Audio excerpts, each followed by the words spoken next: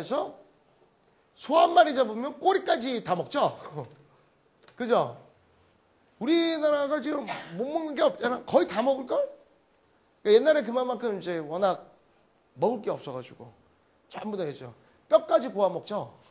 그래서 막 이렇게 먹잖아. 근데 그러니까 이제 미국이 그렇게 우리나라한테 그 뭐야, 어? 얼마나 좋은 나라야 우리나라가. 저 미친놈들. 걔네들은 소 내장 안 먹거든요. 걔네 안 먹어요. 근데 우리나라는요. 환장하고 먹죠. 곱창. 곱창 싫어하는 사람, 곱창 싫어하는 사람 있냐? 곱창 진짜 맛있지 않냐? 그죠? 다 먹죠, 우리나라. 근데 나 그 저기 TV에서 보니까 아 그거 못 먹겠대. 아 나 그거 좋아했다가 열확 받대 그거. 불만제로에서 나왔나 어디에서 나왔던 것 같은데 대창 나온 거 봤어요? 대창?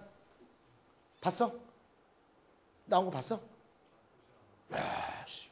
대창 그게 막 1인분에요. 꽤 몇만 원이에요, 그거. 비싸요. 그래서 막 기름 있고 막 해서 이게 야, 이거 고비야 그러면서 막 즐겁게 먹 먹잖아요. 알고 봤더니 다 기름이더만.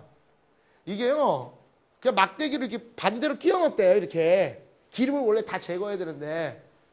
근데 그 기, 기름이 그 뭐 불포화산 무슨 기름이라고 이게 막 쌓여가지고 나중에 비만을 촉진하는 아주 안 좋은 그건데 지금까지 내가 그 대창 그, 그 원가가요 1인분에 이제 가시면은 막 2만 5천 원, 3만 원 이래요.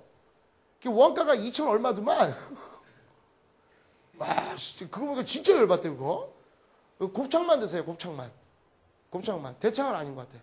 어, 대창 이렇게 해서 진짜 이거 막대기로 이렇게 쑥 하니까 밖에 있던 기름이 안으로 싹 들어가서 말려요. 그걸 또 우리는 맛있다고, 이거 고비라고, 야, 이거 기름이 이렇게 많은 게 뭐, 막, 우리 몸에 좋은 거야. 이러고 미친 듯이 먹었나 봐.